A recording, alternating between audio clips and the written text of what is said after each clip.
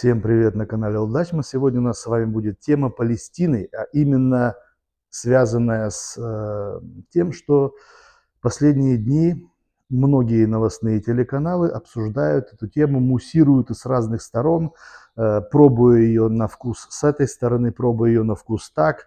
В общем, Организация Объединенных Наций большинством голосов приняла резолюцию о том, чтобы создать на Ближнем Востоке государство Палестина. Из 193 представителей стран э, ООН за это предложение проголосовали 143. И на прошлой неделе Испания, Ирландия и Норвегия официально признали Палестину государством. Естественно, это вызвало бурный ажиотаж, э, море негатива и опасений со стороны э, премьер-министра Израиля Беньямина Нетаньяху. Он сказал, что таким образом Организация Объединенных Наций легализирует терроризм на Ближнем Востоке. Израиль с этим мириться не собирается, Израиль будет бороться с террором дальше.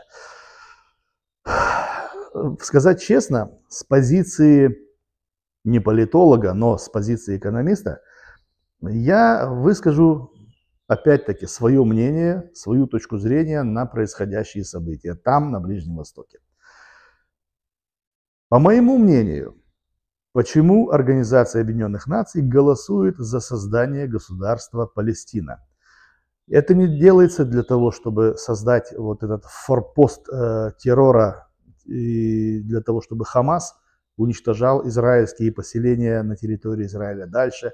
Это не делается для того, чтобы Туда стекались э, все террористы мира и, получая, как в Аль-Каеде, обучение, ехали по всем странам и уничтожали людей. Нет, это, скорее всего, делается с целью наложения, э, в первую очередь, своих политических интересов на Ближний Восток. Ближний Восток – это нефть, Ближний Восток – это торговые пути, Ближний Восток – это зоны влияния для многих западных стран – не имевших до сегодняшнего дня возможности расположить там свои какие-то, э, допустим, э, дипломатические представительства или какие-то, ну, скажем, фирмы, не знаю, фирма там по переработке того же пластика. Отправляется же из Германии ежегодно 35 тысяч тонн мусора пластикового в Юго-Восточную Азию. Для чего это отправляется? В Юго-Восточной Азии весь этот мусор сначала перерабатывается, потом из этого мусора делаются различные куртки, кроссовки, одежда, э, бытовые приборы, кухонная утварь, миски, чашки и так далее. Все это отправляется обратно сюда на Запад. Естественно, по сумасшедшим ценам. Может быть, с таких позиций смотрят многие западные политики на создание государства Палестина.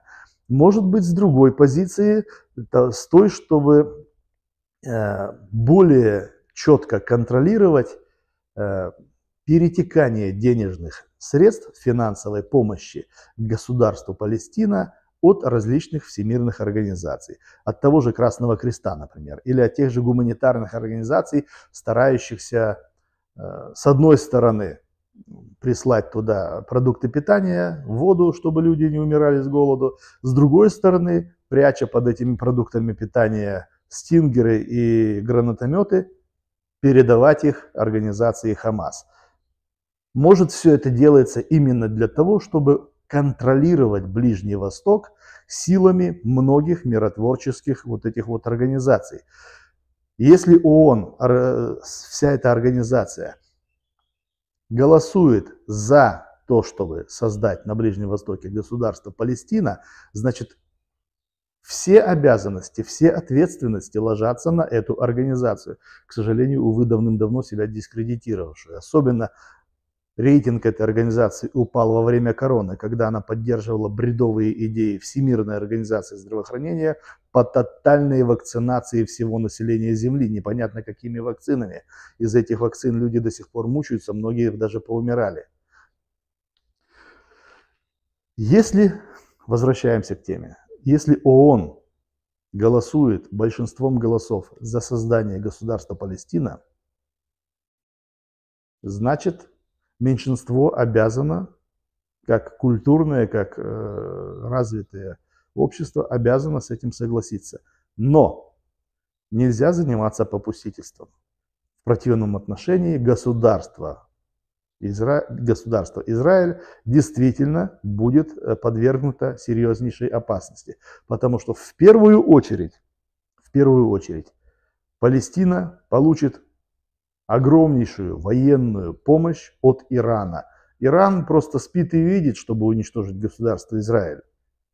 Какое дело этому Ирану до Израиля, я вот не понимаю. Но сама Палестина, если и будет создано это государство, она просто обязана будет считаться с тем, что мировое сообщество э, поставит туда свои вот эти вот миротворческие отряды для контроля ситуации.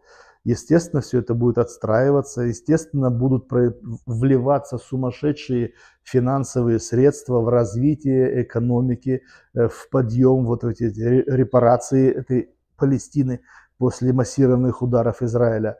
Ну, а вы скажете, да, а зачем Израиль бомбил? А зачем Палестина 7 октября прошлого года массированно бомбила своими ракетами Израиль? Ведь эти же деньги, которые получил Хамас от многих государств, э, от, от многих государств, от многих, э, там, допустим, вот этих мировых организаций, на развитие инфраструктуры в секторе газа, на развитие экономики, на улучшение жизни, на строительство школ, детских садов и больниц.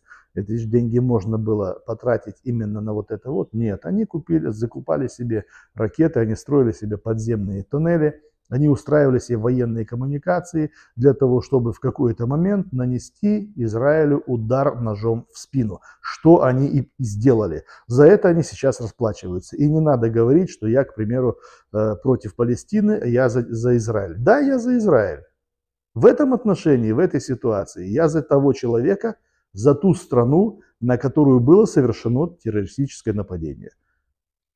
И один человек, вот в общем, с, как раз по теме вот этой вот э, Палестины и Израиля, один человек мне высказал э, свой такой негатив, мол, типа, э, раз я такой шовинист или еще кто-то,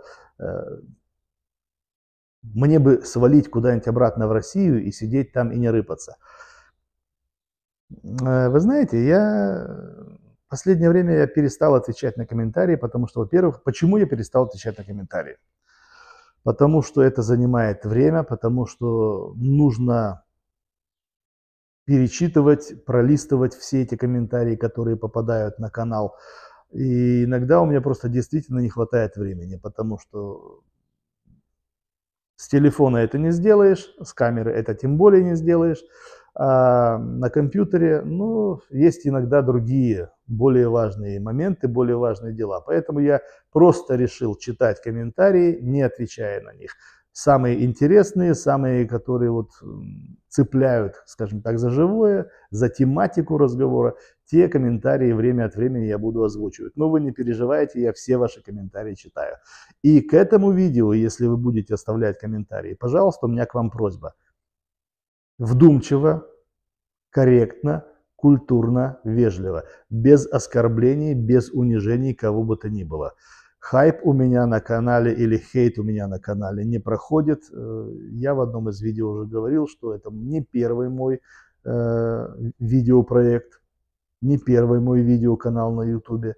Я уже достаточное количество лет нахожусь на ютубе, независимо от того, что этому каналу только 4 года – я имею опыт общения с троллями, я имею опыт общения с хейтерами, я имею опыт общения с нормальными людьми и с неадекватными.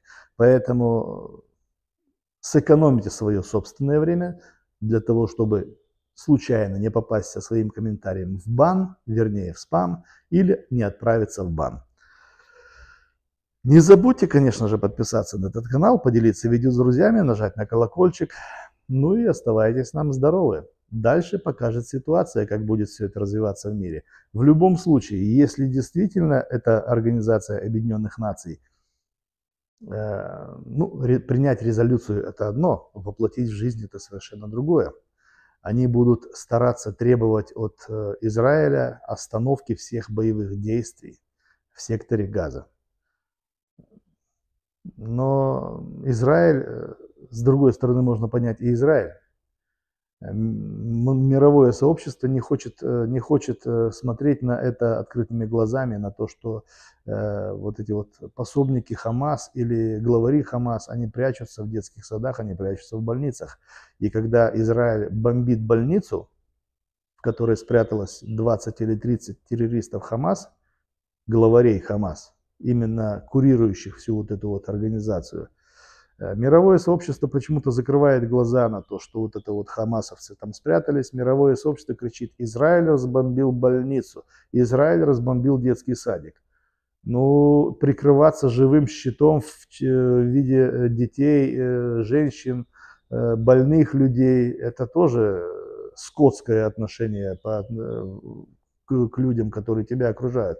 Поэтому я считаю в этом отношении, что Израиль поступает так, как этого требуют законы военного времени. А именно сейчас там и существует военная ситуация, законы военного времени. И они подминают под себя некоторые свободы морали, устои морали, к которым мы все с вами привыкли.